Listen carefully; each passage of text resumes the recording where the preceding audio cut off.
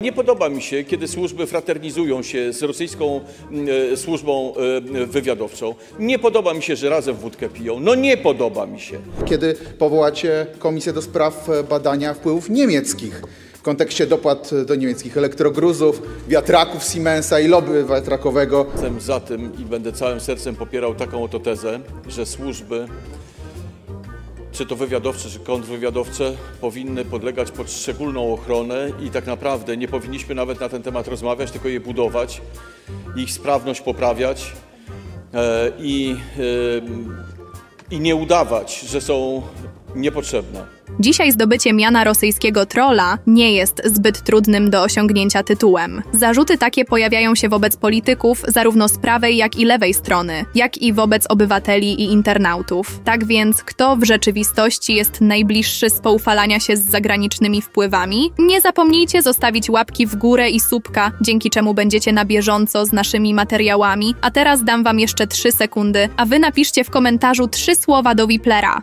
Jeden, dwa, trzy napisane. No to lecimy.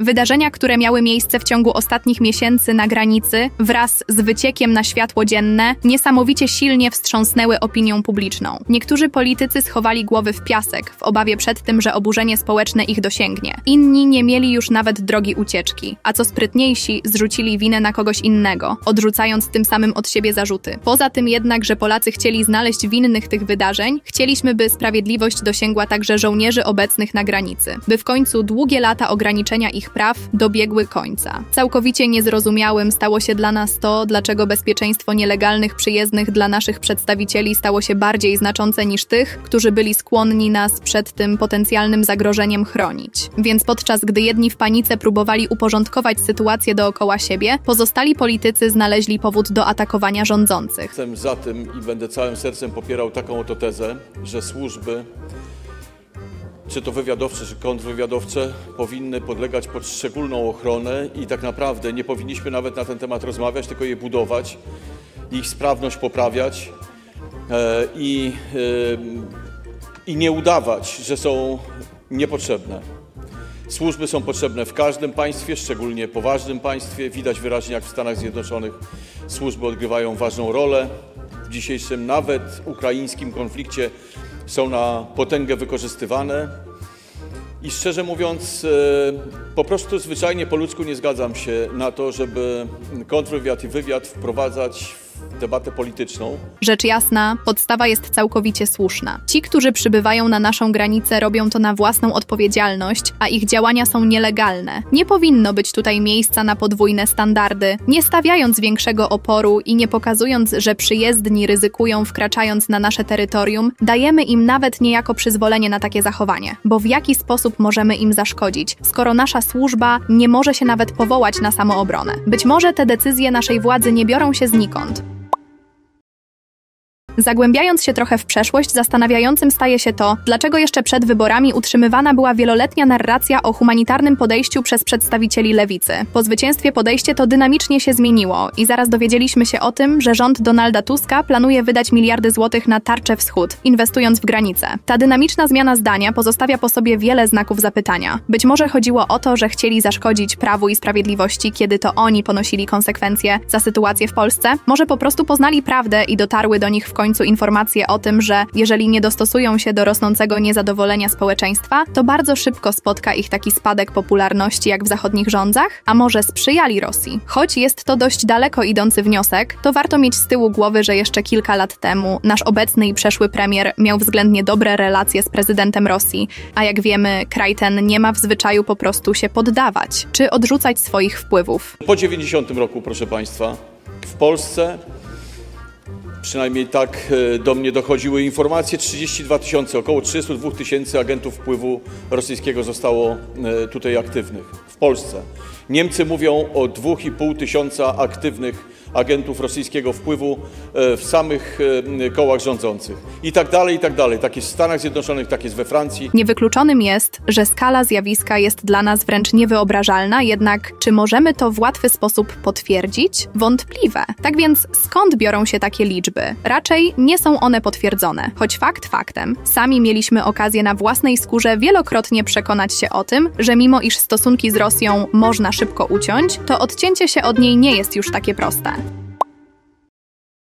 Od zarania dziejów jasnym było, że Rosja nie była, nie jest i nie będzie naszym przyjacielem. Mimo to postawiliśmy na utrzymywanie wspólnych relacji, przede wszystkim w zakresie wymiany towarów, choć to w głównej mierze my je u nich nabywaliśmy. Tym samym dość niskie ceny i zasoby Rosji szybko nas od siebie uzależniły. Powinniśmy byli mieć z tyłu głowy potencjalne zagrożenie, jednak nasze władze, mimo tego, że najpewniej również zdawały sobie sprawę z tego, że sytuacja może w każdej chwili eskalować i stać się dla nas trudna, nie planowały ucinać źródełka bez dobrego argumentu. Ale nie podoba mi się, kiedy służby fraternizują się z rosyjską mm, e, służbą e, wywiadowczą. Nie podoba mi się, że razem wódkę piją. No nie podoba mi się. I to w jasny sposób zostało pokazane. Nie podoba mi się, że rozdzielano wizyty smoleńskie e, e, na prośbę prezydenta Putina. No nie podoba mi się to. I o to w tym wszystkim chodziło, żebyśmy wyjaśnili sobie, jakie wpływy Putin miał w Polsce. Po prostu zwyczajnie. I nie ma to niczego wspólnego z tym, co mówicie. Jeżeli chodzi o Karakale, panie pośle, Dobrze, że tego złomu żeśmy nie kupili. Cały świat to oddaje. Dobrze. I to by trzeba było zadać pytanie, jak to się stało, że ktoś podjął decyzję o kupieniu tego złomu, za który mieliśmy dwa razy tyle zapłacić, co był wart, a w dodatku co drugi nie lata, przynajmniej we Francji. Co z tego, skoro i tak stale kupujemy sprzęt gorszej jakości od naszych sojuszników? To, że kilka razy uratowaliśmy się przed kupnem podobnego towaru, nie oznacza, że nie powtórzyliśmy tego błędu, ale skutecznie. Moglibyśmy być nieco bardziej ambitni i przyszłościowi, inwestując w nasze własne zbrojenie. Jednak wolimy kupować stary i często mniej skuteczny produkt z ręki naszych sojuszników. Chyba jasnym jest, że w czasach takich jak dzisiaj nikt nie będzie skory oddawać swojego najlepszego towaru, nawet ci, których nazywamy naszymi przyjaciółmi.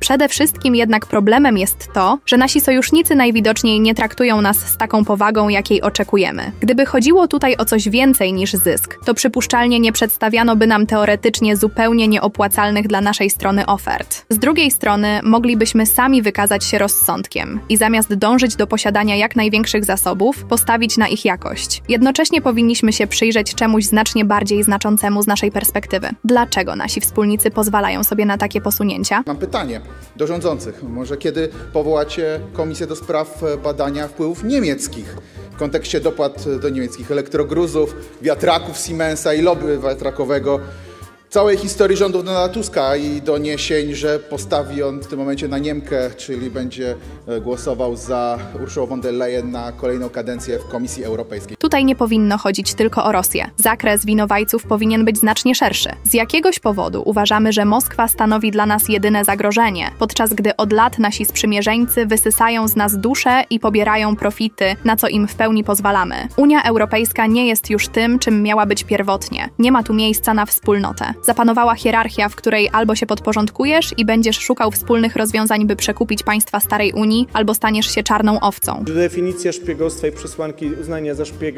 są archaiczne, że tutaj jest o czym dyskutować, to róbmy to. Badajmy wpływy obcych państw, zwłaszcza wrogich, ale nie powołujmy fikcyjnych komisji, które są tylko po to, by gnębić opozycję, bo raz wy macie kij w ręku, raz się zmieni rząd i ktoś inny będzie miał kij. Chodzi o to, żeby ten kij zlikwidować i za tym właśnie głosujemy, więc w pełnej rozciągliwości poprzemy ten projekt. Tak powinno być. Z drugiej jednak strony, jak możemy zbadać wszystkie wpływy, skoro te obecne są nawet już u nas i sami nadaliśmy im prawo głosu?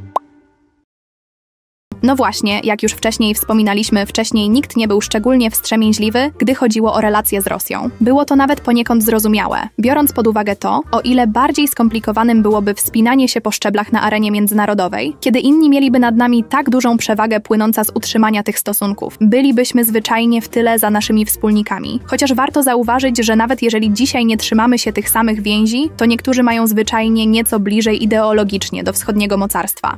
Ustawa, która likwiduje komisję, to jest ustawa, której baliśmy się, że jej nie będzie.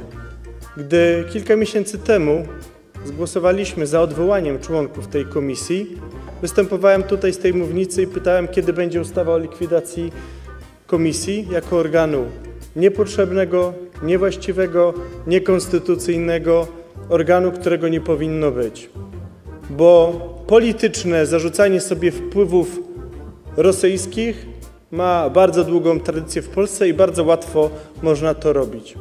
Lewicy można wypominać jej, po, jej pochodzenie, bo powstała z Polskiej Zjednoczonej Partii Robotniczej, partii satelickiej, radzieckiej, partii komunistycznej i finansowanie zagranicy, moskiewska pożyczka. przynajmniej w kontekście historycznym. Choć wciąż nie wskazuje to na to, że mieliby oni utrzymywać te relacje po dziś dzień. Jednocześnie zastanawiającym jest też to, dlaczego na przykład po wielu miesiącach dowiedzieliśmy się o tym, że nie jedynym towarem napływającym do nas ze wschodu jest ten ukraiński. Z jakiegoś powodu było to zamiatane pod dywan, a premier oświadczył nam to tak, jakby była to informacja oczywista. Co gorsza, zamiast przyjrzeć się sprawie i zarzutom w rzetelny sposób, zamiast rzeczywiście spojrzeć na wpływy, nie tylko te rosyjskie, nasi rządzący od miesięcy przerzucają się winą o to, kto bardziej oddany jest Rosji.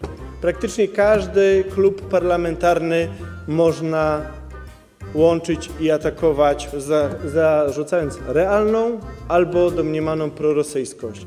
Można to robić w sposób karykaturalny, jak niektórzy publicyści, którzy wszędzie widzą rosyjskich agentów, Rosjan i łączą sobie te kropki na poziomie paranoika. Można też stawiać bardzo poważne zarzuty. Ale jest w Polsce kodeks karny, są przepisy, są instytucje publiczne, są służby specjalne, są przestępstwa stypizowane jako szpiegostwo, działanie na rzecz innego obcego wywiadu i są narzędzia, by prowadzić postępowania w tym zakresie. Jeżeli mamy w Polsce służby specjalne, jeżeli mamy w Polsce instytucje do tego powołane, to one powinny zajmować się śledzeniem wpływ agentury obcych państw. I nie tylko tych wrogich nam, ale tych, które są teraz nam przyjazne, z którymi jesteśmy w sojuszach. A waszym zdaniem komu najbliżej jest na wschód? Nie zapomnijcie zostawić łapki w górę i subka. Siema!